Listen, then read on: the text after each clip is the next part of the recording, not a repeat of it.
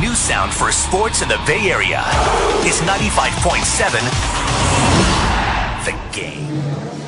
Hey, I'm Bob Farr coming to you from 95.7 The Game, and I want to talk about the upcoming MLB season.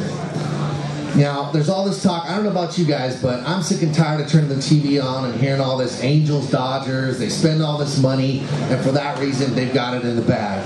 History shows that that doesn't work all the time. Yeah, I would say is Bob, get as specific as you can. You're you're take, you're telling me why the Dodgers aren't going to do it. I know what history says, and it's all good. I'll listen to it, but you also also tell me which of those contracts is the one that you hate the most. Give me, you know, tell me. Is it Hanley Ramirez? You don't believe in him? Is it that there's no way Greinke can live up to the money he got? There's got to be something in there that's driving you nuts that you want to tell me. Okay, hit me with that. Give me that reason to stay on. All right. I liked it. And a little bit about who the MVP of the Oakland Athletics is going to be. It's going to be the guy that you don't know. Nakagama, the import from Japan, the shortstop. Here's why. Over in Japan, he owned a career line of 310, 381 on base, and a 474 slugging percentage, and a 856 on uh, OPS. getting up there. You started at the beginning. I can tell your wheels are spinning the whole time. But uh, Nakajima, you lose all credibility, in particular when that's your subject and you're saying five, six times. Just can't do it. Thanks, We're here live with 95.7 The Game, the Bay Area's new sound for sports, the Honorable Sideshow presiding. It's time for one of those always unpredictable Sideshow random rants. And this rant goes out to all you collegiate student athletes, especially you football and basketball players who live in constant fear of losing your scholarship due to injury or underperformance. You guys are being used. NCAA and Division One colleges should be forced to offer multi-year scholarships with academic fallbacks, especially in case of an injury. Come on, Division One schools. First of all, when a guy goes up there in character name, I'm all, I'm waiting to kill him. I can't. That was damn good. That was entertaining. Great intro. You know, the only thing I would tell you, remember, if you're on the air for three hours, that act is not going to work. You got to break it up. You got to be able to take me through some emotional journey, bring the energy down. But for 90 seconds, that I love the part. Stage lockout by college athletes. You made me think. That was really damn good. Johnny Reale here for 95.7 The Game. I've got questions. Basically one question. What are you doing? Say this to my kids all the time. I got teenagers at home. I gotta ask them, what are you doing?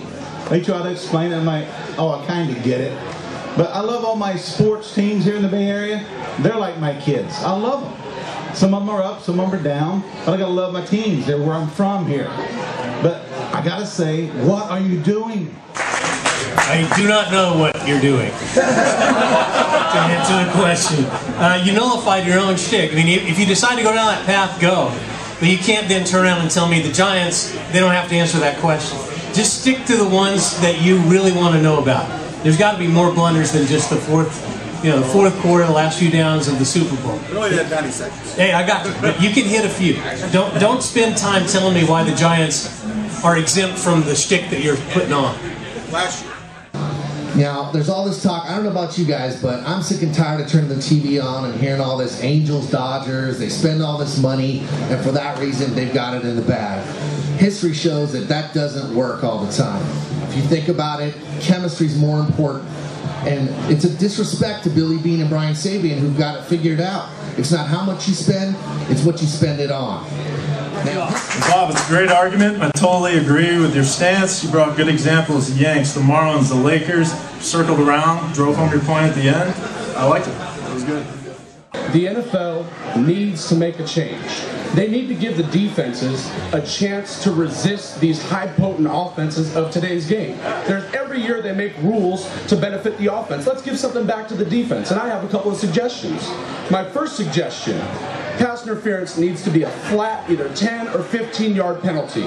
This 50 yard penalty is garbage. Okay? Nobody wants to watch Uh, and I, I recall you doing this last week, but I think it was much better this week. Uh, first of all, definitive right out of the gate. The NFL needs to make a change. Here's what they need to do. Yep.